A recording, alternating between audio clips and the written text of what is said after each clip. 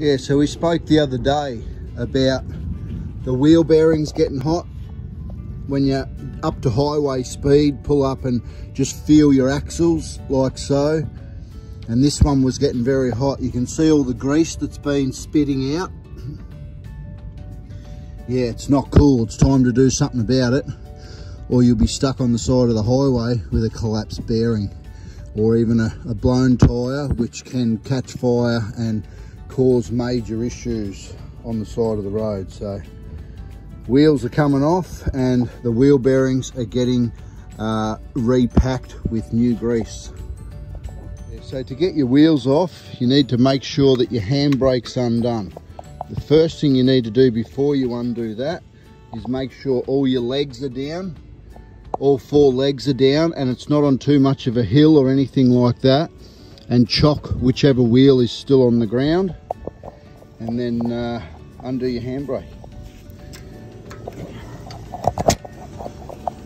just lift that pin out of the way and shut it down now the wheels the wheel that I'm going to take off in a minute the drum the brake part will be loose and the brake drum once I've undone the main nut on the bearings will slide off. Get the bearings out, we'll repack them with new grease. Uh, they say to repack your wheel bearings every 10 to 15,000 Ks on a caravan, which I think is a bit of an overkill, but it's better to be safe than sorry, especially if your wheel bearings have done a fair few kilometres. Um, and plus up north in the heat, it certainly makes a difference. You just want to make sure that you've got good secure coverage here under the main axle so that it's nice and flat. Same down here, nice and flat with a couple of bits of wood so it doesn't bury into the dirt. And uh, just be careful winding it up, get the wheel off the ground, just make sure it's all steady and stable and uh, safe. Once you've jacked it up a little bit, the wheel should move like so and pull that chock out and uh, go and get the job done.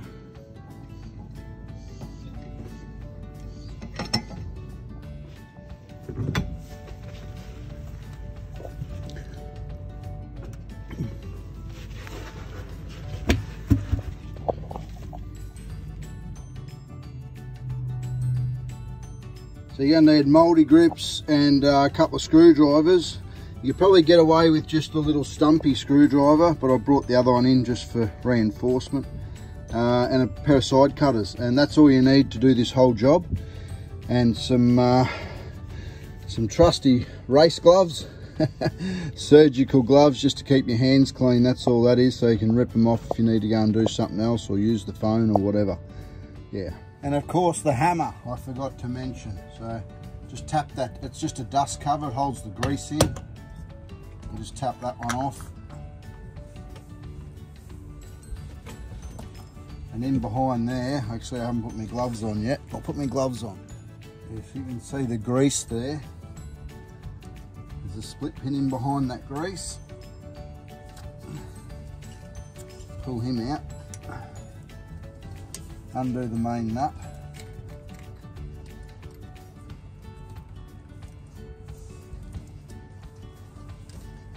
It's nice to have a rag sitting there somewhere so you don't get grease on everything.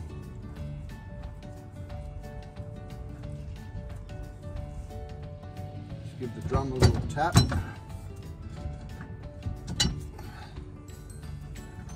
Pull your first bearing out. You can see on the bearing there, that heat mark, you can clearly, and I can smell it. It's been very, very, very hot. So, drum off. And uh, yeah, I've just found another problem. You can see here, it's been that hot brake shoes are all cracked. when you put your foot on the brake, the electric brakes, that's your big magnet in there. The magnet which hits on the inside of the drum in there. And that's all she wrote. That's how the brakes work.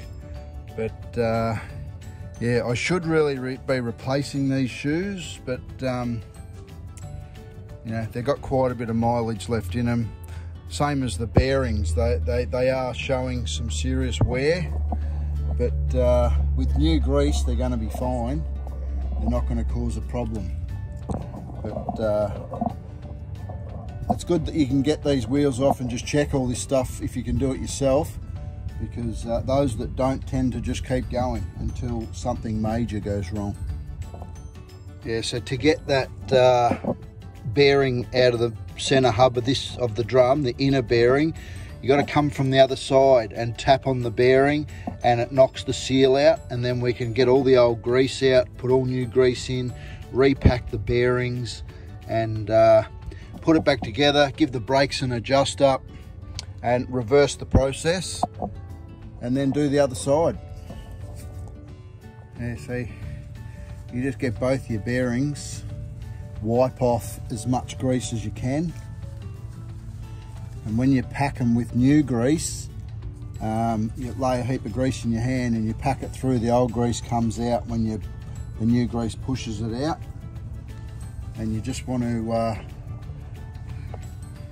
make sure that you get all that grease out of there and into a rag because that grease has actually been melted and it doesn't do the job that it's meant to do anymore so it's time for the new grease to go in and this is the stuff that I've chosen this is from Super Cheap Auto it's suitable for anything automotive including caravan so it's a very high temperature grease and uh, I'll just clean this up and we'll come back. You can see there how black and dirty and almost runny that grease is. It's, uh, it's rubbish. Caravan fellas recommend that every 10, around every 10,000, 15 at the outside, uh, change your bearing grease in your caravan.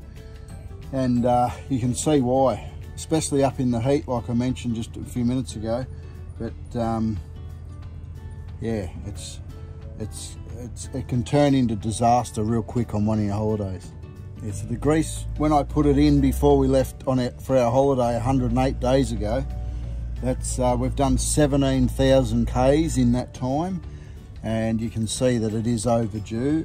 That grease was bright red when I put it in and now it's black and putrid. So you got it, it's very important that you clean the shaft here especially back there where the seal runs because if it's dirty and you put the whole drum arrangement back on and the seal's got dirt under it when it gets hot the grease is going to flick out and it gets on your on your brake shoes and on your drum and uh, yeah your brakes your brakes just won't work properly at all if they got grease on them so the cleanliness process in this little operation is, or anything mechanically for that matter, the cleanliness is imperative.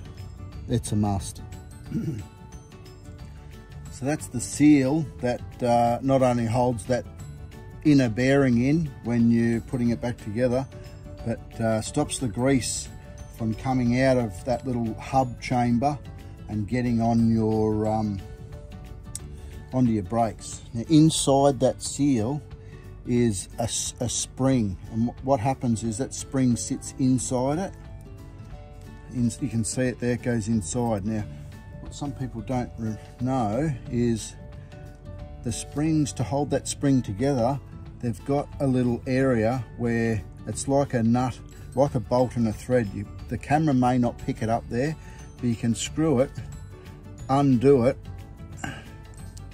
and they and it comes apart so what I'm trying to say there is because the, the seal's done such a long amount of kilometres, you got to be very careful that you don't nip off the smaller end because that's the end that acts like the bolt that goes up inside the spring this end.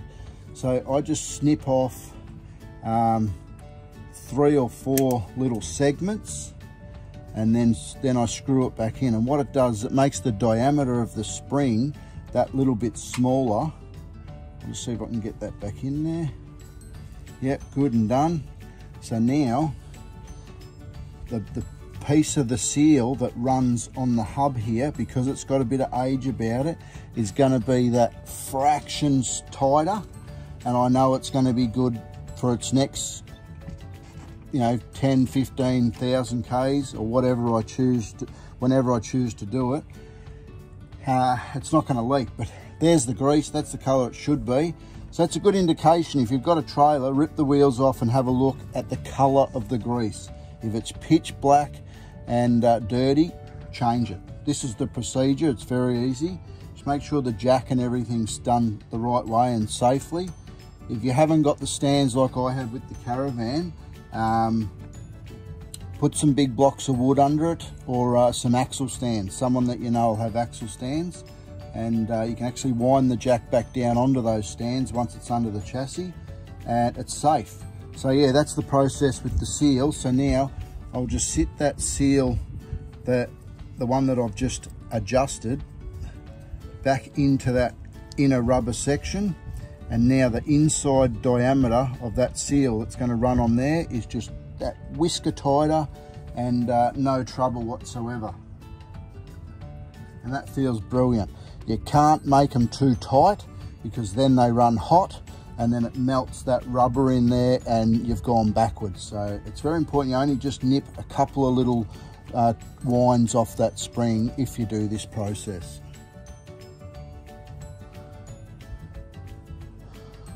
And then it's up to packing the grease time. So you'll see the old grease come out as I do this. So just move a little bit up onto the palm of my hand and we'll just rub it across the back of that bearing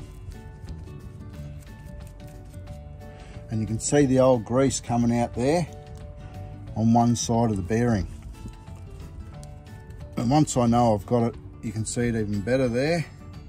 Once I know I've got fresh grease all the way around, I'll just wipe that old stuff off and uh, we're good to go with our new grease inside the bearing where it needs to be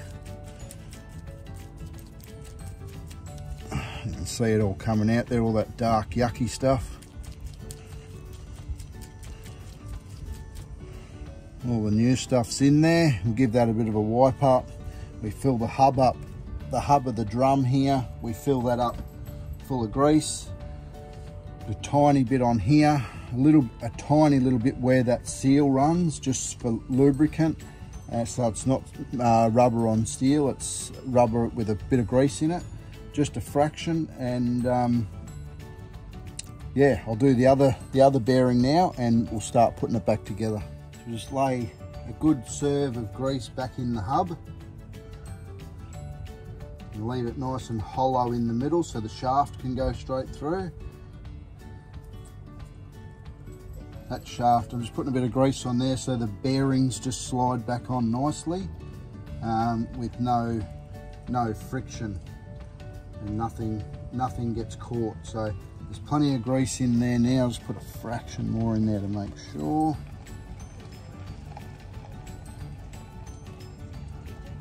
and whatever's not meant to be in there will squirt out at the end you'll see that in just a minute so you just grab your seal bearings in new grease is in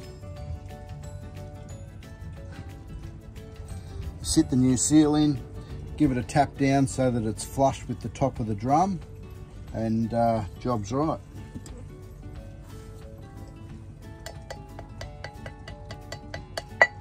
You can hear the noise change when it's all the way home.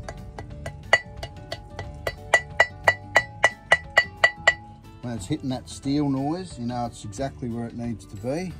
So it's time to flip it over, put it on, clean my hands, get it all back together, put the outer, outer uh, bearing in and away we go. One of the other things you can do while you've got this apart, because as the brakes wear, they create a lot of dust. So the ideal way, if you've got time and you're not gonna make a mess, is to wash it out with some hot water because you don't wanna breathe that dust in. It's definitely no good for you it's brake dust and brakes are made out of material that are definitely no good for your lungs. So you can wipe the dust out, wipe it off as best you can and that's probably good enough. But to get it perfect, hot water or even an old paintbrush and just brush it all off and don't breathe any of that stuff in.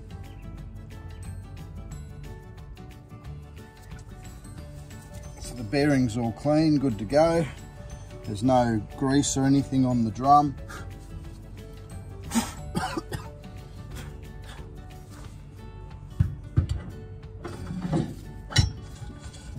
that all sounds good. So you can see the excess grease coming out there.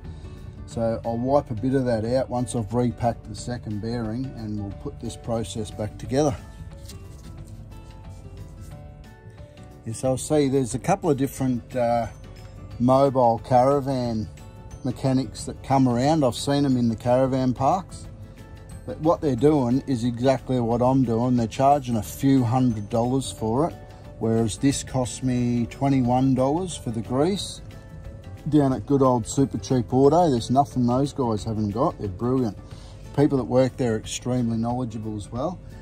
Um, yeah, so I'll repack this bearing and uh, get it all back together. But all the all the mechanics are doing is re-greasing this. It gives you a good insurance and uh, that you're gonna make it to your next destination. But if you're gonna do a trip around Australia and go off the beaten track a bit, etc., uh, the chances of you making it all the way around without collapsing your bearings, it's like a Russian roulette. You need to do this process. It's a lot cheaper if you can do it yourself. It's a bit hot up north, but you know, you got to do it. Today's not too bad.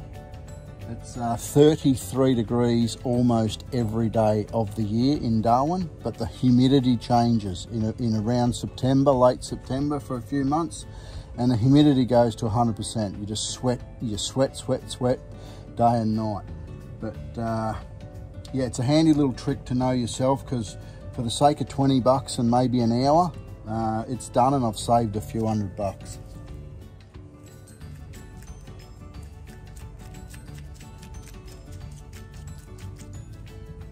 That's a really good shot that the new grease has come through.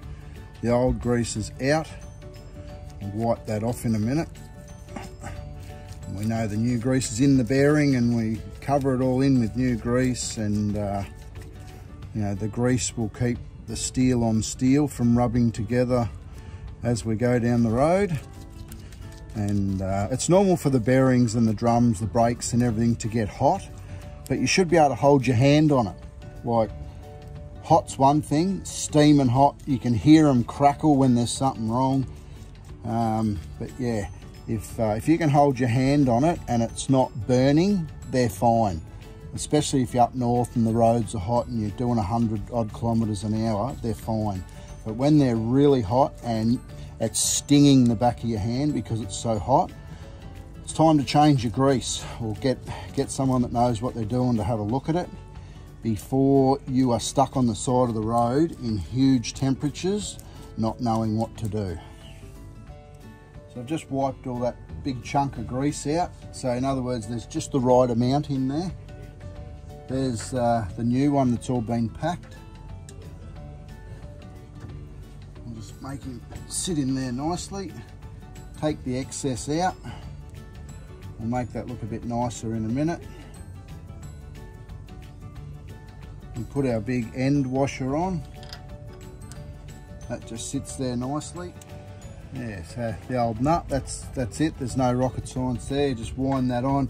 You can see there's the hole there in the middle for the split pin. Now the, the process I'm going to do next is very, very important when you put these things back together. So, good old multi-grips. You do it up firm and make sure it's all spinning nice. And then you back it off.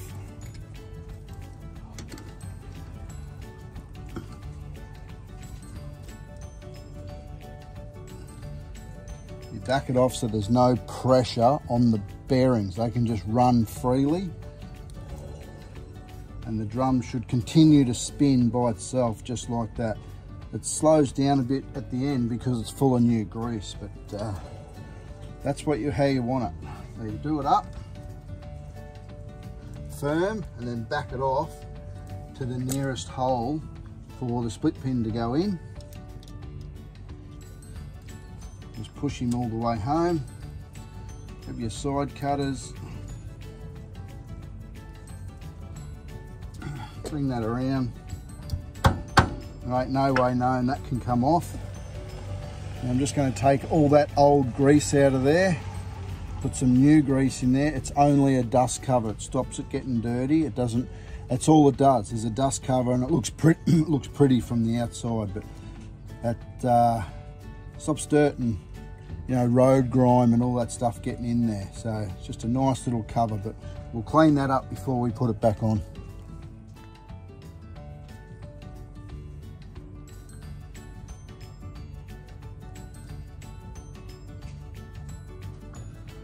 Give them a nice clean, nice fresh grease in the dust cover. Some guys don't even put grease in there, but I do. It's a little bit of extra grease. If the process does happen where the bearings are going to get that hot and wear out and the grease hasn't been changed, it'll all melt. This might give you an extra day or two behind the wheel, just that little bit extra grease when it all melts and links together. But uh, yeah, I put it in there just so that it's all fully covered in grease.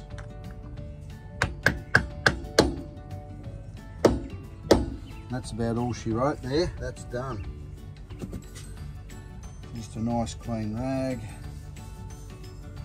Finish that off. You can see here there's a tiny little bit of grease on each bit of thread. That's fine, that's a good idea. Helps the wheel nuts go on nice and easy. And it helps for them to undo next time you need to take the wheel off. So just a tiny bit of grease on there and uh, wheel back on, wheel nuts back on, and the dirty grease that's sitting around that wheel. Um, next time the old girl goes out on the road, we will go through a car wash and clean it all off. And then one of the things when you pull up, when cruising down the highway, you're checking your wheels and you see that grease mark again in 10 to 15,000 Ks you know it's time to change your grease. So there's your little process on how to look after your bearings and not get stuck on the side of the road. Cheers. Actually now I think Margaret's pretty keen. We're gonna go and have a look at uh, what the cyclone done to Darwin in 1974. It just destroyed the whole town. Uh, we're going to go and have a look at that. There's a full museum here on it, so stick around. You'll see that in just a minute.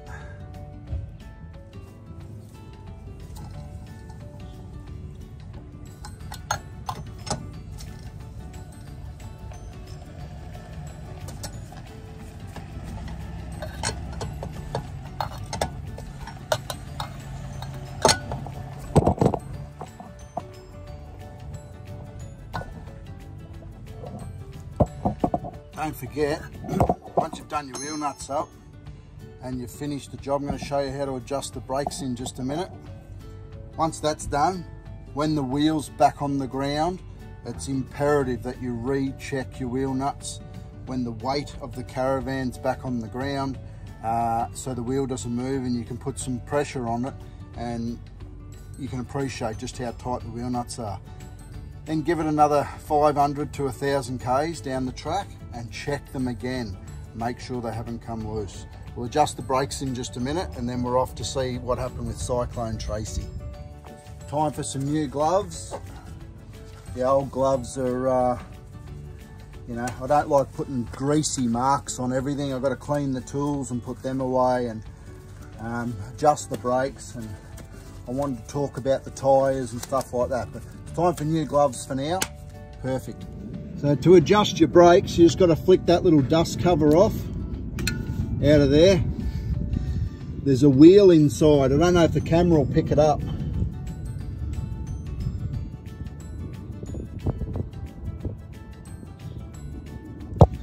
There's a little wheel in there that you've got to uh, just wind up. And if you don't get it right, it, it either means that your brakes are not going to work or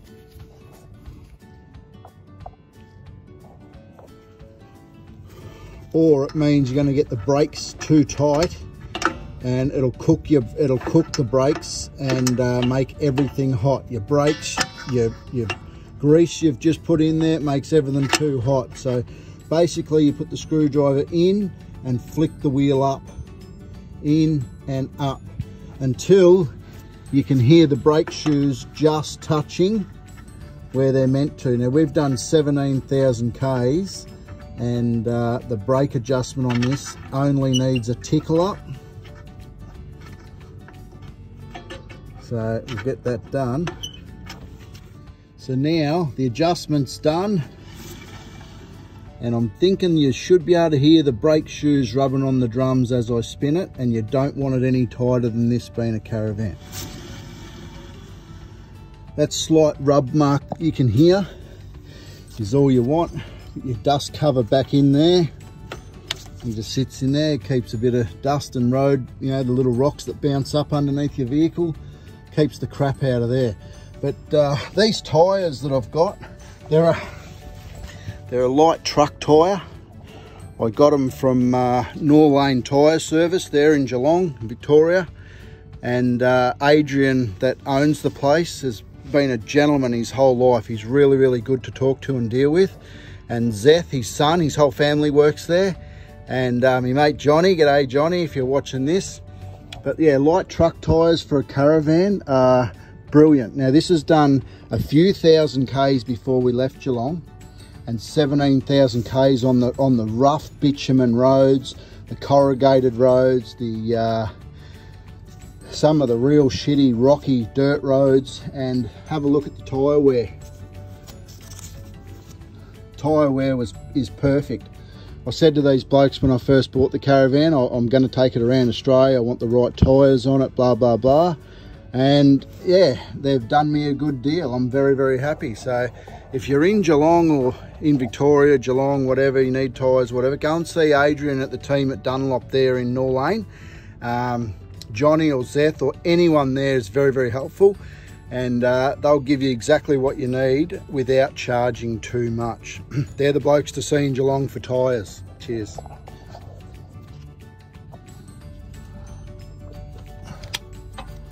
Time to let her down and check them wheel nuts.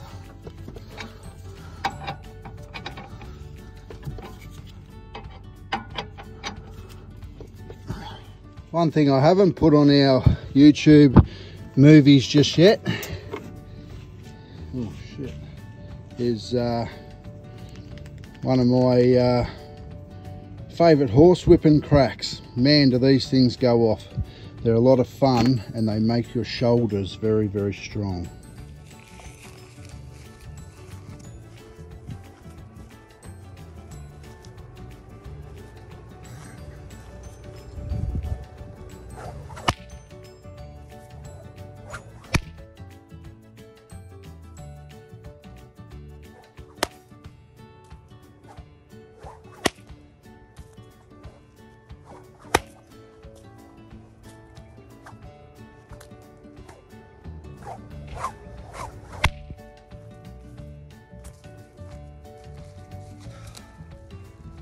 Doesn't make your shoulders strong, if you do that twice a week, your shoulders will stay strong as forever.